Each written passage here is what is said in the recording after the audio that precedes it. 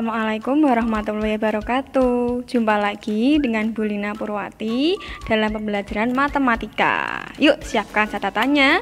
Jangan lupa berdoa, semoga ilmunya berkah dan semangat belajar matematika. Ini kita akan belajar tentang vektor di R2 dan operasi aljabar vektor di R2. Nah, Vektor di R2 pertama kita mulai dulu dari vektor posisi. Vektor posisi itu adalah vektor yang berpangkal di titik O. Contohnya ini nih, ada vektor ada titik A, terus ini namanya vektor posisi OA gitu. Nah, vektor OA dapat dinyatakan sebagai vektor baris X1, Y1 atau juga bisa dinyatakan dalam bentuk vektor kolom X1Y1 bisa juga dalam kombinasi linier X1Y ditambah Y1J. Nah, ini kan juga ada tuh titik B X2, Y2. Ada OA X1, Y1, OB-nya X2, Y2. Berarti bagaimanakah caranya mencari vektor AB? Nah, karena vektor AB Pangkalnya adalah A, ujungnya B, berarti cara mencarinya adalah B dikurangi A atau vektor OB dikurangi vektor OA. Vektor OB adalah X2, Y2, vektor OA-nya X1, Y1. Kita kurangkan deh. Dapatlah X2 min X1, Y2 min Y1.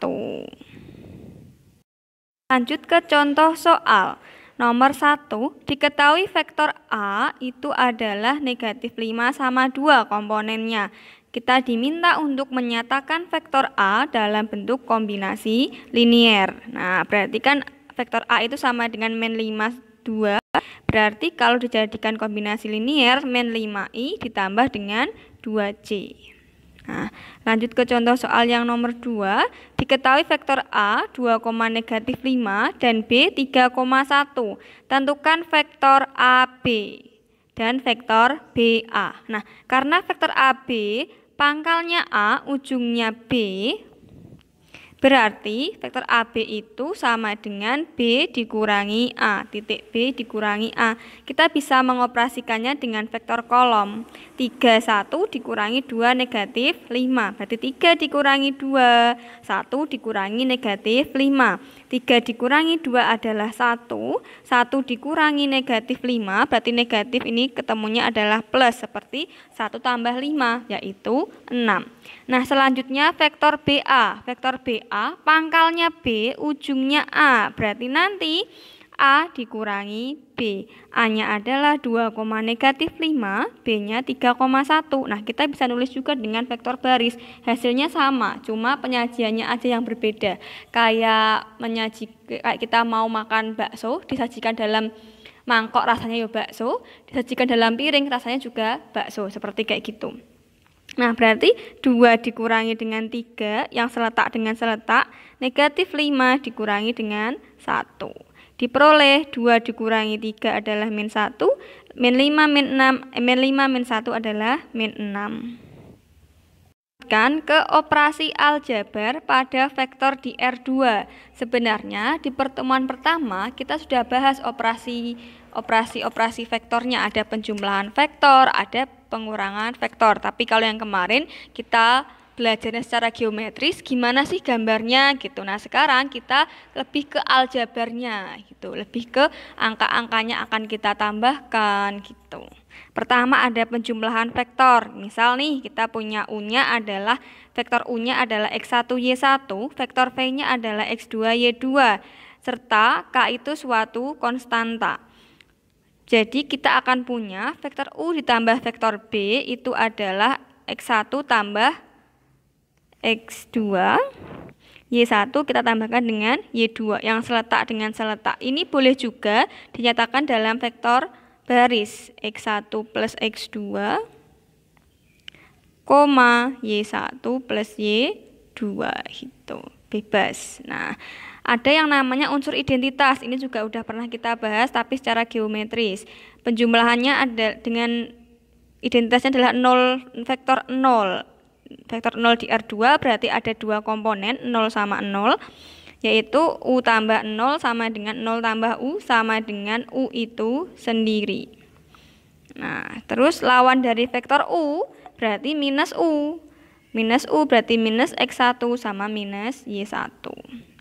Lanjut ke pengurangan vektor U min V. U-nya tadi adalah X1 Y1, V-nya X2 Y2.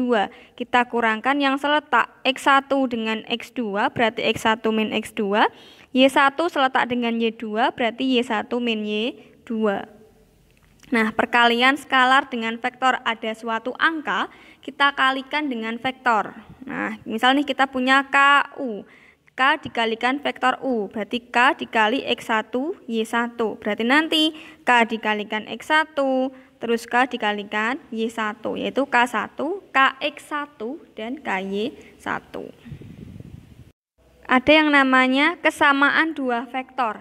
Kapan sih vektor itu dikatakan sama? Nah, kalau di sini Vektor U akan sama dengan vektor V jika dan hanya jika unsur-unsurnya itu sama.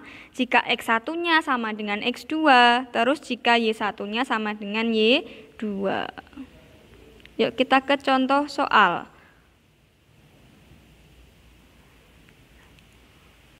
Nah, diketahui vektor A 7i min 2j dan vektor B 3i plus 5j. Tentukan vektor A plus B. Nah, saya biasanya paling senang mengubahnya itu jadi vektor kolom, biar mudah aja penjumlahannya. Berarti kan vektor A-nya adalah 7 min 2. Vektor B-nya itu adalah 3 sama 5. Nanti berarti vektor A ditambah vektor B itu sama dengan vektor A-nya adalah 7 min 2 ditambah 3, 5. Nah, kita tambahkan yang seletak. 7 seletak dengan 3, berarti 7 tambah 3.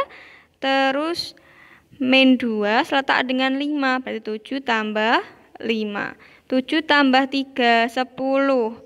Min 2 tambah 5 itu seperti 5 dikurangi 2 berarti 3. Karena 5 itu positif berarti jawabannya adalah 3. Nah selanjutnya A min B. Vektor A dikurangi B.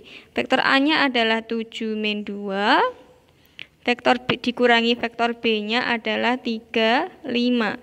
7 seletak dengan 3 berarti 7 dikurangi 3. Min 2 seletak dengan 5, berarti min 2 min 5. 7 dikurangi 3 adalah 4, min 2 min 5 sama dengan min 7.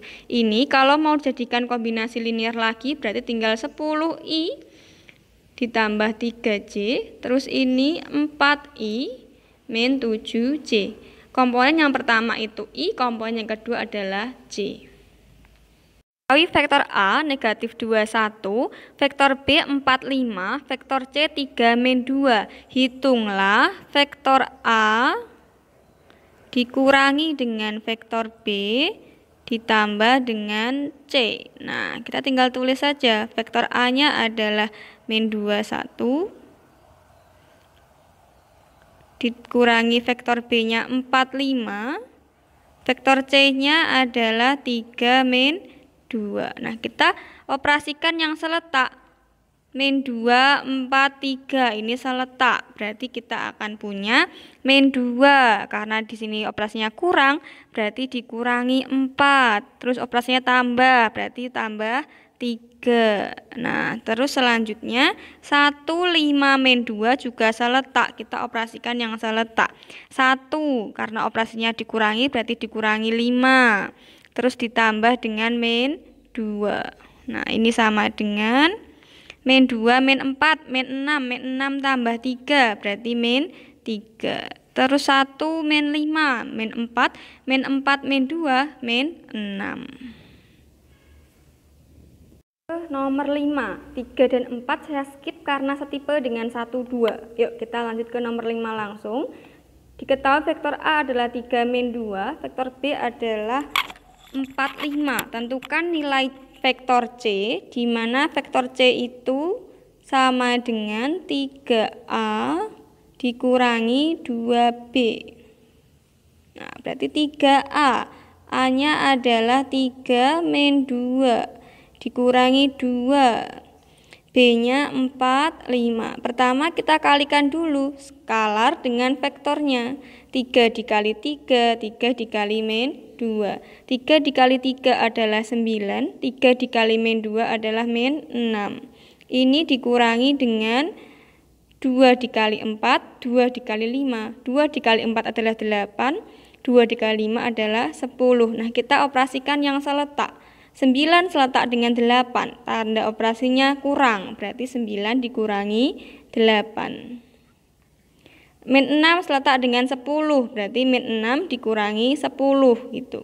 Karena operasinya kurang. 9 dikurangi 8 adalah 1, min 6 min 10 adalah min 16. Selesai. Nomor 6. Diketahui titik A 2,5, titik B negatif 4,2. Titik C adalah sebuah titik pada garis AB sehingga vektor AC itu sama dengan sepertiga vektor AB. Pertama kita diminta untuk mencari vektor AB. Vektor AB berarti pangkalnya A, ujungnya B. Artinya adalah B dikurangi dengan A. B dikurangi A. B-nya adalah min 42 A-nya 25. Kita operasikan yang seletak. Min 4 dengan 2, 2 dengan 5. Min 4 dikurangi 2. Terus 2 dikurangi 5. Nah, min 4, min 2 sama-sama negatif berarti operasinya penjumlahan 4 tambah 2 itu 6 tapi karena tandanya negatif berarti min 6 gitu 2 dikurangi 5 itu seperti 5 dikurangi 3 kalau beda tanda berarti pengurangan 5 kurangi 2 itu 3 tapi karena 5 yang lebih besar adalah negatif tandanya adalah negatif min 6 min 3 terus kita punya vektor AC vektor AC itu sama dengan sepertiga vektor AB vektor AC sama dengan sepertiga vektor AB. Nah, ya sudah, kita kalikan sepertiga dengan vektor AB. Vektor AB-nya adalah min 6 sama min 3. Nah, kita kalikan satu per satu. Sepertiga dikali min 6 itu seperti 1 kali min 6 berarti min 6 bagi 3 dapat min 2 I dapat min 1 selesai untuk pembahasan soal kali ini, yuk kita latihan uji kompetensi 2 dan uji kompetensi 3. Nanti kalau ada yang masih belum paham, silahkan bertanya. Bu Lina akan dengan senang hati menjawab pertanyaan dari siswa-siswi kelas 10. Oke, yuk kita diskusi.